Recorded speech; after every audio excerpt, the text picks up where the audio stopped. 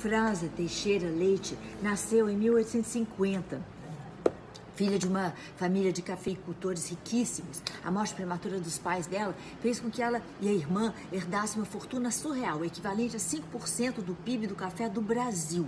A irmã morre, ela herda a outra metade, passando a investir não em terras e produtos, mas em capital financeiro.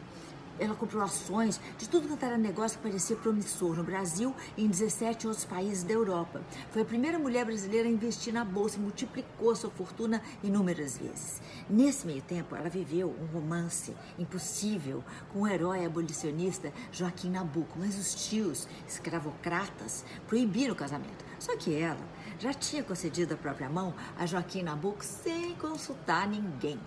Ela retornou para o Brasil e passou o resto dos seus dias em Copacabana. Sem herdeiros, deixou toda aquela dinheirama para a obra de caridade da sua terra natal de Vassoura.